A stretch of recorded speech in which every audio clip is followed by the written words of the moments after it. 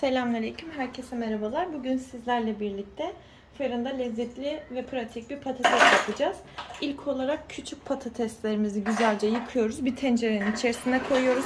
İçerisine bir tatlı kaşığı tuz ilave edip 15-20 dakika kadar haşlıyoruz. Burada baz alacağımız şey çatalı yani çatal batıyorsa giriyorsa altını kapatıyoruz. Patateslerimizi haşladıktan sonra şimdi içerisine 2 diş rendelenmiş sarımsak ekliyoruz. Dileyenler burada sarımsak tozu da kullanabilir. Daha sonra şöyle bir çay bir kahve fincanı yani tamamı değil de göz kararı kadar bir zeytinyağı koyuyoruz. Ve son olarak da içerisine tuz, karabiber, birazcık zerdeçal, daha sonra acı toz biber ekleyerek bunları bir güzel harmanlıyoruz.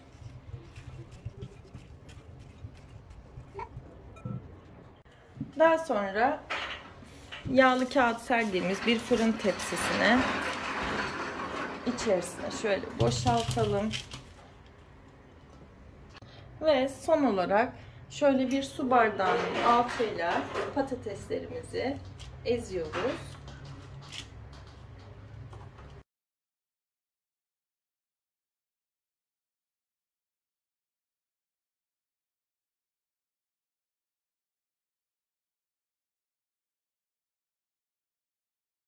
Ve şimdi 230 ya da 250 derecede 20-25 dakika kadar pişiriyoruz.